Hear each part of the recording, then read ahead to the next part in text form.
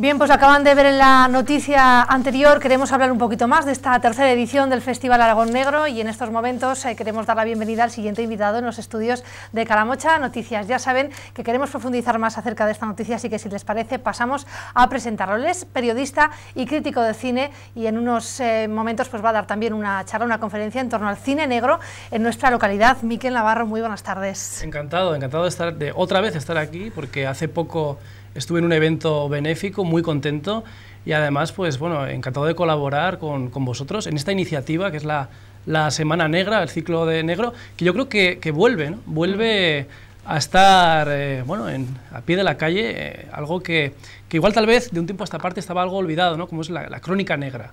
Eh, yo tengo una gran amistad con, con mi gran maestro que es Juan Rada, el que fuera director del caso.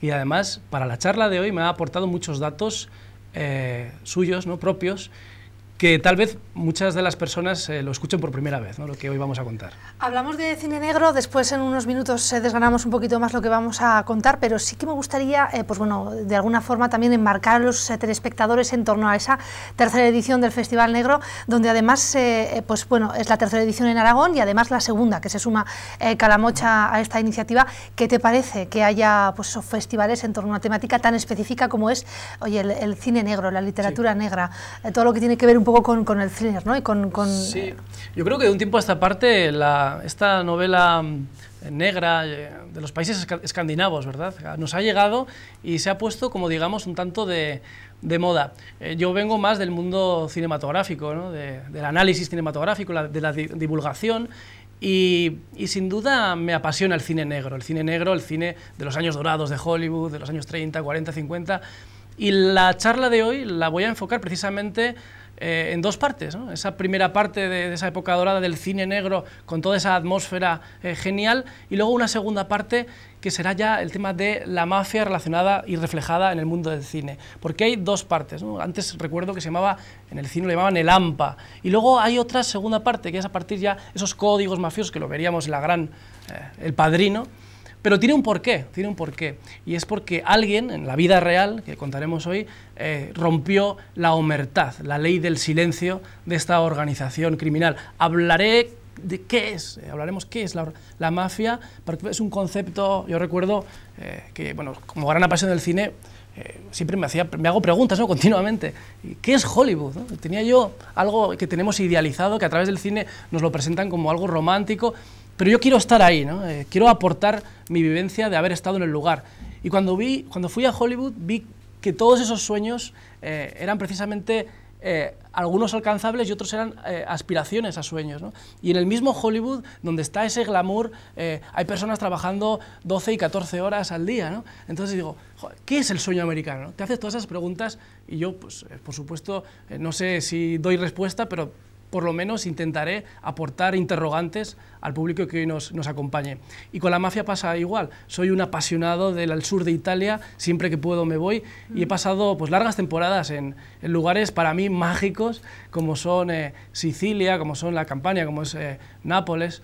Y tienen pues, eh, ese arraigo incluso ¿no? cultural de una gran mezcolanza de, de, de pueblos que la han ocupado y han dado pues, un, han, creado ahí una, una, una imagen propia, un, unos códigos también un tanto bueno, eh, unidos también al catolicismo, al sincretismo, que yo creo que da una gran riqueza. Y también, eh, cómo no, eh, temas tan serios como es la mafia, como es una organización, al fin y al cabo, criminal, que te das cuenta de que todo lo que nos cuenta en el cine, con un aura tal vez eh, romántica, eh, realmente la realidad es el terrorismo, el terrorismo y una, y una, bueno, pues una realidad bastante, bastante cruda eh, de lo que, lo que es el palpitar de una tierra realmente, como digo, palpitante, terrenal, intrínseca en el propio ser humano. Yo creo que, que va más allá de, de, de un lugar en sí, es, tiene, tiene magia y tiene también pues el palpitar de la propia, de la propia tierra. ¿no? es, es, pasión pura. Antes de, de entrar en la, en la, entrevista, tú me decías, yo solo hablo un poco de lo que sé y de los sitios sí. a los que he estado, ¿no? Luego te preguntaré por el cine negro, pero sí que hablando precisamente de la mafia, yo creo que la mayoría de los telespectadores, eh, pues cuando oímos a hablar de la mafia ha sido a través del cine o bien porque de vez en cuando, pues bueno, oímos la típica noticia, ¿no? Se ha desmantelado, se ha descubierto sí. eh, realmente cómo está la mafia ahora mismo. ¿Existe y de qué manera? Existe, existe. Siempre que haya vicios en el ser humano, eh, habrá, habrá extorsión, habrá mafia, habrá dinero. Y como decía el gran Stanley Kubrick, ¿no? el ser humano tiene un principio de maldad y, y, es así, y es así. Yo recuerdo uno de los pueblecitos imprescindibles para el que quiera saber un poco de esto de la mafia, se llama Salemi. En él, eh, la, policía local eh, muy amablemente me acompañó a este museo de la mafia auténtico, porque ya sabemos todo esto de las... Eh, bueno, de esas picarescas que hay con el, con el turista, en el que en cualquier sitio te dicen que es un museo de la mafia. No, no, un museo periodístico de la mafia, se encuentra en Salemi, creo que hubo una copia además en, en Las Vegas, o se quiso desarrollar una copia de este mismo museo, y aborda magistralmente lo que sería toda la evolución eh, mafiosa a través de, de, los, de, los, años, en, de las décadas incluso, eh, pues a través de la prensa, por ejemplo, y pues te van explicando cuál es la realidad, ¿eh? el terrorismo, porque este terrorismo también se ve, eh, es muy palpable además en, en, Palermo. Y vas viendo pues esa evolución. Yo recuerdo que como aquí en España, o el boom del ladrillo, pues también la mafia se adecua a, a ese boom del ladrillo ¿no? en, en, aquel momento. Y recuerdo que lo último que me comentaban en Salemi, donde estaban metidos en el negocio de la organización criminal, eh, sería en, en estos eh, parques eólicos. ¿eh? estos parques eólicos. Así que se va adaptando a, a, nuevos, a nuevos tiempos, parece ser. Sí que es verdad que también, según me cuentan algunos periodistas de la zona, hay una crisis eh, dentro también de, de la comisión, ¿eh? que son, es una organización, organización eh, valga la redundancia, organizada, que se intentó organizar. Eh, parece que desde el año 93 estaría eh, bastante de capa caída y no se reunirían como antiguamente lo hacían con tanta asiduidad. ¿Cómo lo hacían antiguamente? ¿Cómo lo hacían? Yo estuve en el, en el Hotel de Espalmes, de, es un hotel, bueno, eh, clásico, de, lugar de encuentro de la, de la mafia siciliana, en, eh, donde se reunió Lucky Luciano, que fue el gran organizador de las, de las familias neoyorquinas, de las, cinco, de las cinco familias, y allí en el año 57 pues, organizó la, la primera gran comisión para eh, pues, distribuir, eh, repartirse de alguna manera los, los negocios de, las familias diversas. Y allí, que también comentaré, allí en un salón en el que pude, pude estar y pude presenciar eh, cómo, era aquel, aquel lugar y respirar ¿no? Lo que pudo ser aquel, aquel encuentro de, las, de las, esas grandes familias, los Bonano, los Luquese, los Gambino, los Genovese y los Colombo, ¿no? allí reunidos año 57. Y luego, por supuesto, para mí el ejemplo a seguir, el ejemplo de auténtico siciliano, ¿eh? sería el de Falcone y Borsellino, que fueron los jueces que realmente plantaron cara a, a, la, a la, mafia. ¿eh? Y lamentablemente pues los, a los dos los, los mataron de una forma eh, brutal, ¿no? uh -huh. con más de una tonelada sobre todo, bueno, primero a Falcone, con más de una tonelada eh, de explosivos puestos bajo la autopista, ¿no? porque no había forma de acceder a él. Eh, Borsellino eh, sabía que también iba, iba, a morir por esa lucha eh, sin cuartel y por una buena causa, como él dijo. Efectivamente, al poco tiempo también eh, falleció en un atentado el juez también siciliano. Por lo tanto, ves que es, eh, más allá del romanticismo cinematográfico, es una realidad bastante difícil. ¿no? Y, y bueno, pues que tiene un germen eh, eh, sociocultural, no sé cómo llamarlo, eh, antropológico incluso, ¿no? y muy relacionado con, con, España. No está tan alejado de, de, de, nosotros. Yo recuerdo que una de las cosas que más me llamó la atención era que los propios sicilianos me decían que la mafia era cosa de los españoles. ¿no? Y tiene una leyenda, un cuento... Hombre, según cómo lo miren. Sí, sí, sí, desde luego. Y tienen un cuento muy bonito, que es el cuento de una leyenda que ellos cuentan, es un cuento de tres españoles que habrían, eh, bueno, habían vengado la, la muerte de una, de una, hermana que había sido violada y asesinada y habían escapado de, del reino de Aragón, precisamente, ¿eh?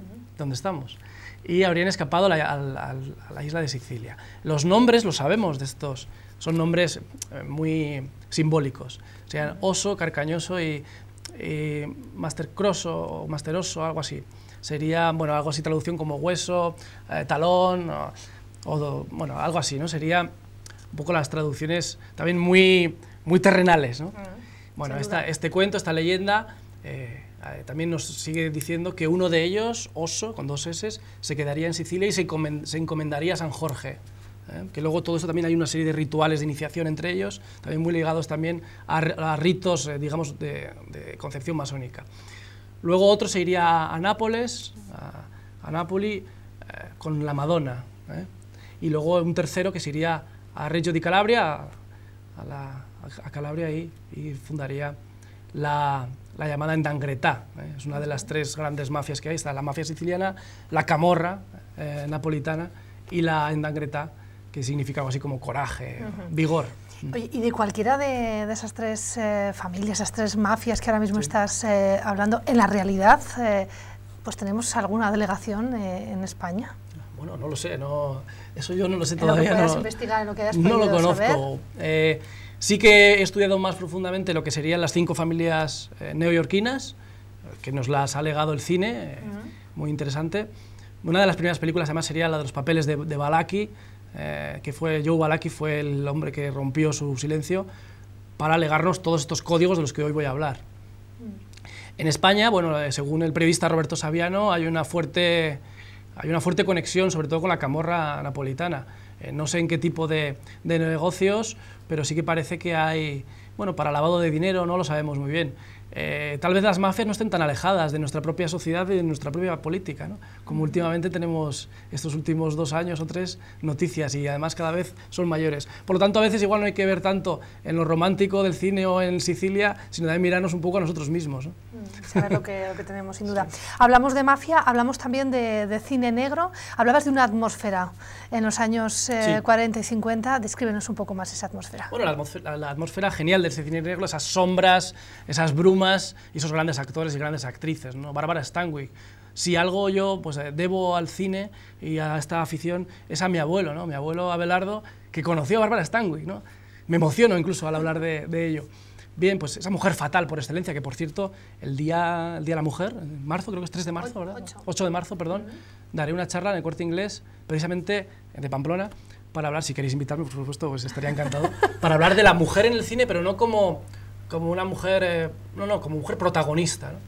protagonista. Y la verdad que yo creo que, que hay mujeres fatales como, como Barbara Stanwyck, que es, que es increíble. Este año estoy muy contento también porque en los premios Oscar se va a premiar a Gina Rowlands, que es una mujer 10, ¿no? una mujer protagonista, poco tal vez eh, reconocida, y espero que a partir de ahora se la conozca más, que precisamente también hay una película del año 80 que habla también de mafia y relacionada con la mujer.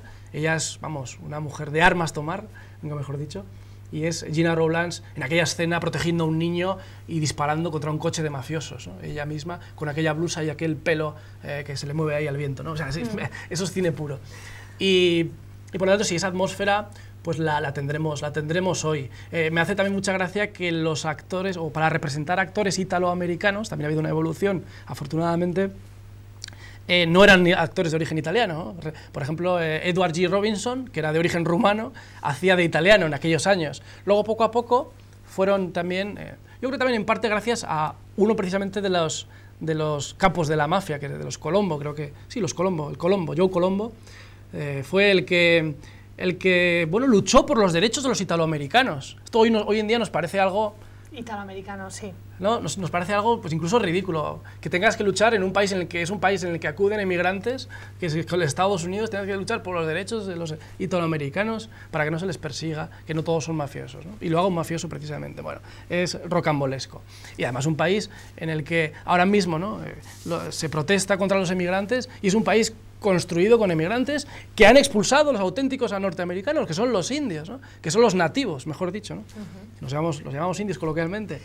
Así que, bueno, es un tema que... Sí, si yo te preguntase, eh, por volver un poco al, cine negro, aunque sin duda, eh, bueno, está claro en tus declaraciones que te apasiona eh, todo este tema y también la historia, como bien vas contando, pero si, bueno, para los telespectadores yo te pidiese dos, tres títulos de, de películas en torno al cine negro que para ti hayan significado pues un hito y que además sirvan de ejemplo para describir ¿no? la historia y la evolución del cine negro, ¿qué nos recomendarías? Bueno, pues hay muchos títulos clásicos títulos, hoy también hablaré, pues, por ejemplo, eh, pues, Los violentos años 20, Cayo Largo, eh, hay una película que me encanta que se llama Ángeles con caras sucias, había un tipo eh, que encarna al gángster por antonomasia que sería James Cagney. James Cagney tenía una particularidad, que disparaba y a la vez lanzaba el brazo al disparar. Lo hacía con un ímpetu que llegaba al espectador e impresionaba de lo que estaba viendo, parecía que te estaba disparando.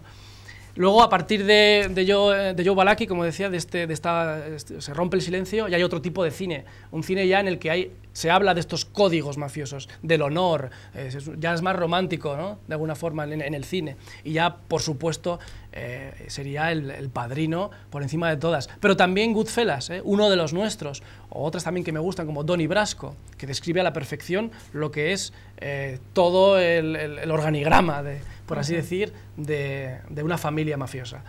Y bueno, y otras tantas como Casino, por ejemplo, también, que es una película apasionante y, uh -huh. y bueno, pues yo creo que hay un, un, buen, un buen menú para, les dejamos a nuestros telespectadores con todo eh, ese menú para que vayan tomando, tomando notas. Antes de, de despedirnos, eh, por conocer un poquito más también en torno a tu uh -huh. figura, eh, colaboras en Cuarto Milenio, también bueno, periodista, compañero, estás en, en COP, en la sí. Comunidad de, fuera de la, que tú, de la que tú estás, también en muchas tertulias radiofónicas, todo en torno a la investigación, en torno al cine, en torno al misterio un poquito también podemos decirlo. Sí, también, ¿no? sí. En toda esta investigación, el momento que Miquel pues más temor haya tenido? Temor. ¿Hay alguno? ¿Hay alguno donde haya dicho, jolín, pues yo iba hay, hay, hay a investigar sobre esto sí. y de repente me ha pasado esto? Uno que recuerdes. Tengo muchas anécdotas. Gracioso, Una anécdota uno. muy graciosa. Bueno, hay un momento, miedo, bueno, miedo, un poco de tensión. Bueno, que también vale, ¿eh? En Cuatrerí Españoli, el barrio, barrio de los españoles en Nápoles, tuve un momento en el que me abordaron en la calle y finalmente pues pude salir bien de ahí. pude salir bien y incluso de forma airosa. Y sí que tuve un momento. Pero yo creo que un momento para recordar, que es buenísimo, fue cuando llegué a Corleone, llevaba ya ahí, bueno, pues un tiempo, y estaba en, en el Café Central con los hermanos Ruggirello, que lo regentan, y el primer mafioso de la ciudad se llamaba Miquele Navarra. cuando vieron que yo me llamaba Miquel Navarro, no se lo creían, ¿no? Y ahí brindamos con Amaro, que es una especie de, de moscatel o de licor de hierba, un licor que tienen ellos, y por aquella, aquella anécdota pues fue muy, muy curiosa. Era el médico del pueblo, que en los años 50 pues era, dicen que fue pues el primer de los Corleonesi, del, el primer gran mafioso, que, que por circunstancias que tampoco eh, me dieron muchos detalles, pues cosas de la vida, al salir del pueblo cierto día lo ametrallaron, ¿no? Eh, por lo tanto, nada. yo salí con, con, cuidado también de allí. Pero la verdad que, que, sí, que fue un momento que Miquel Navarro, Miquele Navarra, pues fue, fue un momento jocoso. Y luego, pues bueno, pues otros también eh, momentos que, que, he vivido que sin duda han sido, han sido bonitos. Eh. Entiendo que, que, seguirás por esta línea, ¿no? Y que el misterio, el cine negro, la mafia te, te apasiona y vas a continuar con todo ello. Sí, eh, y también intentar buscar, me gusta mucho, bueno, redescubrir, volver a, a, rescatar personajes olvidados por la historia, ¿no? yo creo que también es, es significativo. Y bueno, intento también recuperar historias olvidadas, que hay que sacar a la luz. ¿no? Hoy en día la, pasan también muchas cosas. Yo también haría pues, un llamamiento a los, a los espectadores, y es que eh, recuperemos a nuestros mayores, hablemos con ellos, eh, les escuchemos, porque tienen historias fantásticas, ¿no? que están por contar. Entonces, a mí me gusta mucho estar, escuchar a los mayores, a, a nuestros mayores. Pues nos quedamos con esas declaraciones y con ese buen eh, mensaje que tú, que tú bien sí, dices. Sí. Miquel, muchísimas gracias por estar con nosotros en estos momentos. Te dejamos ya para que marches a, a esa conferencia, que vaya muy bien, que el público eh, también un poco apoye ¿no? todas estas iniciativas y que sí. vean también la importancia de un festival en torno al cine, a la literatura, eh, al misterio y, y, y, al género negro, ¿no? que es lo que, de lo que se trata. Gracias de verdad. Muy bien, gracias a vosotros, gracias.